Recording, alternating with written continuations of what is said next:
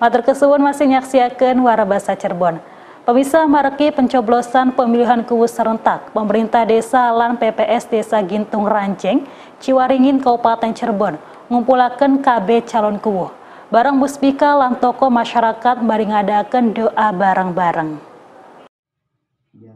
Kago ciptakan kondusivitas lan ngarep kelancaran jelang pencoblosan pemilihan kuwu serentak Pihak pemerintah desa Lam PPS Gintung Ranjeng, Kecamatan Ciwaringin, Kabupaten Cirebon, ngumpulaken KB calon kuwu. Ana telu calon kuwu sing arep melu serta ning kontestasi pilu serentak.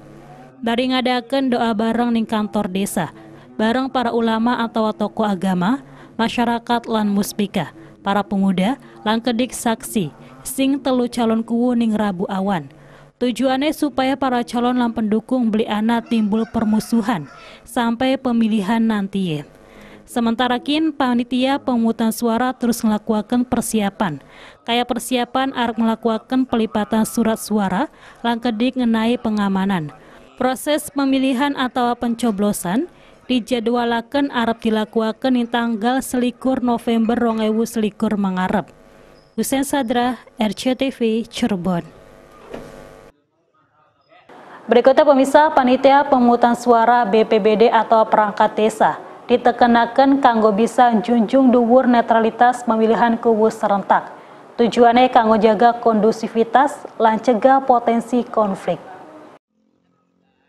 Pemerintah Kecamatan Ciwaringin Kabupaten Cirebon nekenaken ning desa-desa sing arep laksanakan pemilihan kubu serentak supaya panitia pemungutan suara PPBD atau perangkat desa supaya jaga netralitas. Aja sampai panitia atau pihak pemerintah desa ana simihak ning salah siji calon kuwu. Asale bisa nimbulakan potensi konflik lang kedik nganggu kondusivitas. KB PPS lan sejene kedik sedurunge wis gawe fakta integritas netralitas bilwu serentak. Para pendukung calon kedik dijaluk kanggo saling jaga kondusivitas utama ning Ciwaringin dewek sing ana basis pondok pesantren diharapkan desa-desa sing laksanakan pilwu. Sementara kanggo jaga protokol kesehatan lan pencegahan COVID-19, KB PPS lan calon kuwu dipasiakan wis divaksin. Husen Sadra, RCTV, Cirebon.